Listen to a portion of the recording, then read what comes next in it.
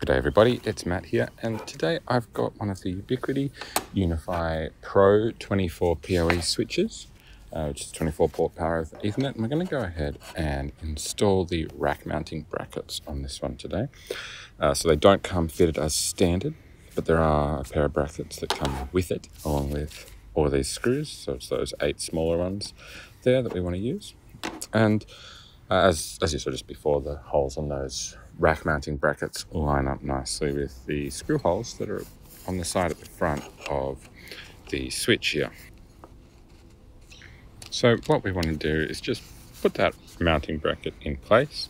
Doesn't matter which one you use, they're reversible. Uh, and then grab our screws. Go ahead, screw them all in. We're going to screw them in quite tight, but not so tight that you're starting to thread the screw, just that it's nice and firm and so go ahead and do that for all of them on this side.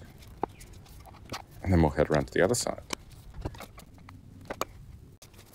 All right, so now we're going to spin that around and do the same thing over here on this side.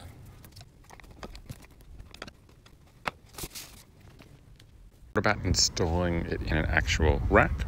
Well, that screw packet comes with four rack mount screws and also the um, bolts that they screw into. And so those bolts will nicely latch into the rack mounting systems.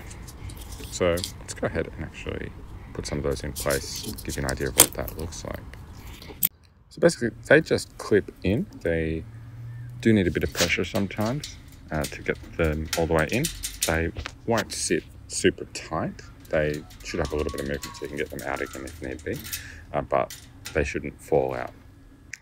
So this switch requires them to be spaced one in between. It's a uh, it's a one U rack unit, so that's one unit.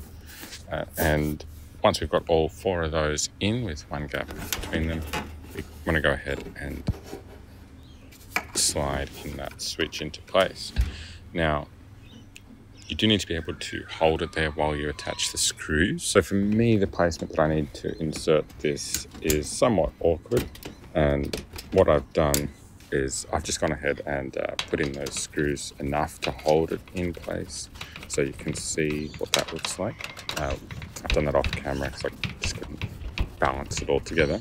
And now we're just going to go through and tighten it up. So we can see it's sitting at an angle at the moment, and that's because the screws are loose. But as we get those tightened, uh, the um, unit will start to sit flush in the rack.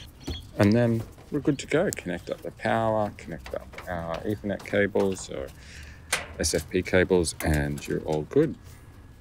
So I hope you found this video helpful. Be sure to like it and also subscribe to my channel for more videos like this from me. Bye for now.